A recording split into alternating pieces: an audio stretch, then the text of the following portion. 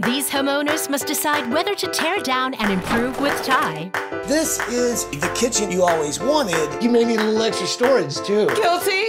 Or trade up and move with his designer rivals. May the best design win. Who will they go with to achieve their dream home?